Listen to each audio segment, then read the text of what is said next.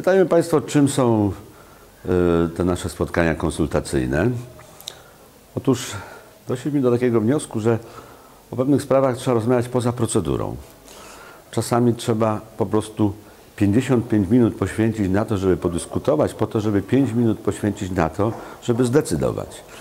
I zakładam, że te spotkania to jest właśnie te 55 minut rozmowy, po to, żeby posiedzenia Krajowej Rady, kiedy mamy o czymś zdecydować, stanowiły te właśnie tylko 5 minut. Oczywiście jest to pewna metafora, ale tak jak wspomniałem na początku, jeśli rozmawiamy bez potrzeby głosowań, bez potrzeby liczenia, bez potrzeby pewnego rodzaju, czy też może nie potrzeby, tylko pewnego rodzaju emocji związanych, czy będzie większość, czy nie będzie, to nam się rozmawia znacznie lepiej.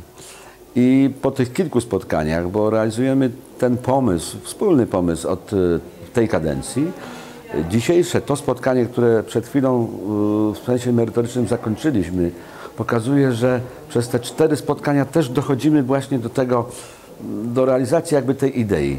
Rozmawiajmy, zanim zaczniemy decydować.